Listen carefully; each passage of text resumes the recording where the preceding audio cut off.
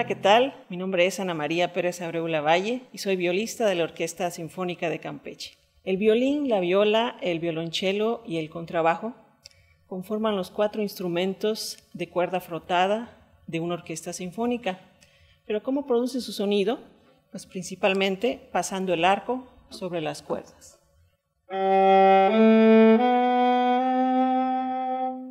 El violín y la viola comparten grandes similitudes, pero principalmente hay una diferencia, es el tamaño.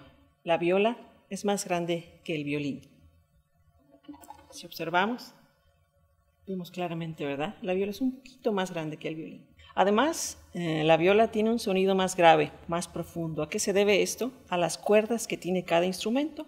Por ejemplo, el violín tiene las notas mi, la, re, sol y la viola la, re, sol, do.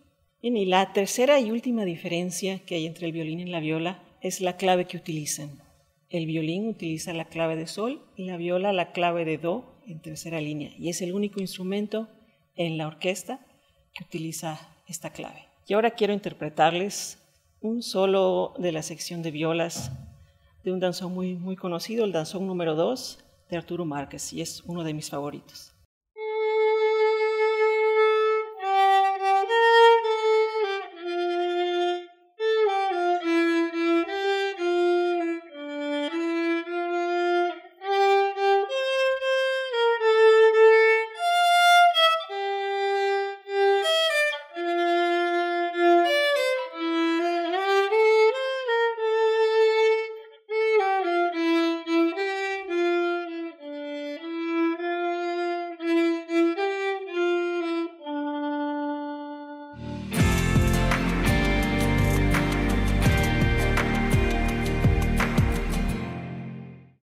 Gobierno de México.